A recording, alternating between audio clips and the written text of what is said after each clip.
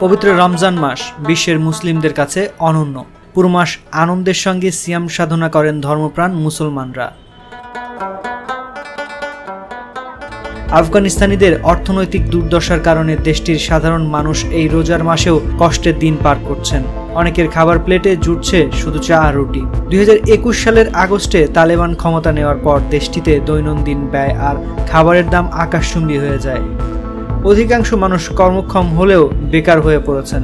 জাতিসংঘের তথ্য মতে, দেশটির দুই কোটি আশি লাখ মানুষ অর্থাৎ মোট জনসংখ্যার প্রায় সত্তর শতাংশ খাদ্য সহায়তার জন্য অন্যের উপর নির্ভরশীল। কিন্তু সেই সহায়তাও সীমিত, কেননা বড় বড় আন্তর্জাতিক সংস্থাগুলো তালেবান সরকারের সঙ্গে কার্যক্রম বন্ধ করে দিয়েছে। বেশিরভাগ দেশেই রমজান মাসে সেহরি ও ইফতারে সুস্বাদু খাবারের আয়োজন করে থাকেন ধর্মপ্রাণ মুসলমানরা। কিন্তু বর্তমানে আফগান পরিবারগুলোর সেই সামর্থ্য নেই।